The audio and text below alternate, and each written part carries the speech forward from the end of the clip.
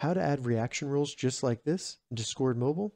Welcome to another Gauging Gadgets Discord tutorial video. In this video, I'm going to show you how to easily add reaction roles to your Discord server on your phone. So either iPhone or Android phone.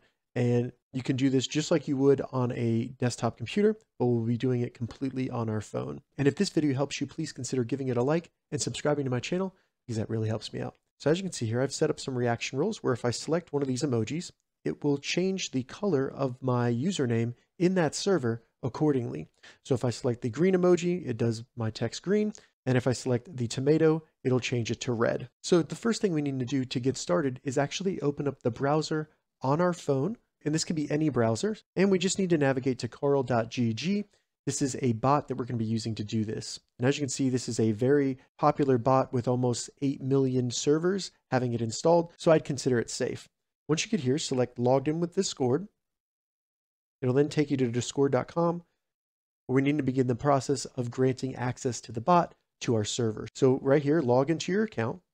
Once you get logged in, it'll bring you to the server picker where you just need to select the server that you want to add reaction roles to.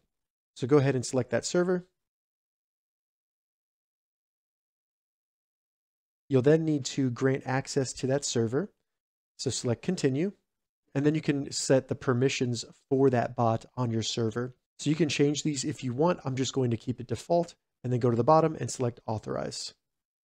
Then verify you're human. After you've added it to your server, you can go back to Discord and then just go to the server where you added the Carl bot. So as you can see here, I can see that the Carl bot is now online. This will let you know that you've successfully connected the bot to your server. From here, the first thing we need to do is simply add the roles that we want to have as reaction roles to our server.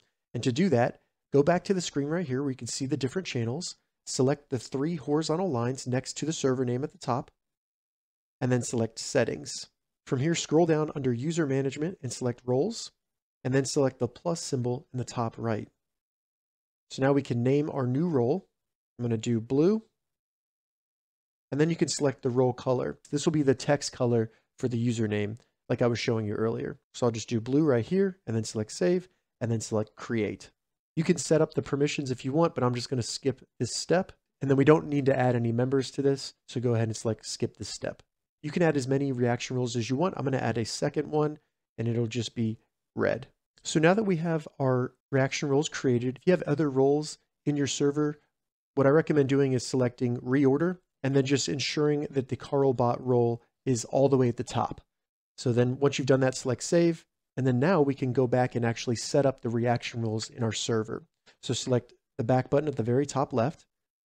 Select close for the server settings. From here, you can add a new text channel if you want to have a reaction role specific text channel. So I'm going to do that. And then select create. And now you can join any text channel. I'll do this from general here. And the first thing we want to type is question mark, reaction, role, space, make. And check the description. I'll have it down there so you can just copy and paste it if you want to. Go ahead and send that. The Carl bot will respond, and then it's going to ask us which text channel we want to add the reaction roles to. So I'm just going to do the text channel that I just created called reaction roles. So we can see it right there, select it, and then send that. Now it's asking us to create a title for our reaction roles and then a description. So as an example, you see how it says roles right there? That's the title. And then you don't need to worry about the description. So to type that for the title, I'm going to add reaction roles. Then just do the horizontal line. And then we need to do the brackets, roles with a closing bracket, just like this. And check the description. I'll have an example down there so you can see that. So I'll send that. Now we can configure a accent color. We'll see the purple to the left of the roles right there. That's that color. I recommend clicking this link. It's going to bring you to a website that'll allow you to get the hex code for any color you want. So I'm going to do this green. Once you find your color, just simply copy the text right up there with the hashtag and then just paste that into your Discord text chat with Carlbot and then it will add it. So all, now all we need to do is configure the emojis with their assigned role and we do that by first selecting the emoji button, finding the emoji that we want to use. So for blue, I'm going to do the dinosaur, then just do a space and then type the name of the role. So right there. So for me, it's the emoji space blue, then hit enter. If it returns the check mark, that means it was successfully connected.